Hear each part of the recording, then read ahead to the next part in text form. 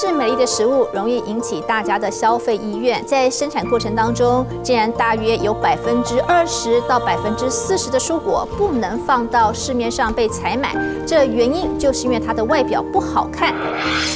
我们在推这个 NG 蔬菜是，除了说要告诉大家说，其实不要浪费，虽然很丑，它确实很甘甜。